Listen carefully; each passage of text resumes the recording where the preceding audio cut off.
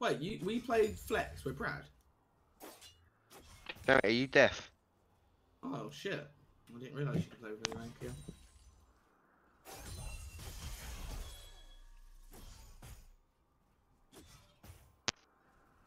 Well, you guys can play with Shane if you want.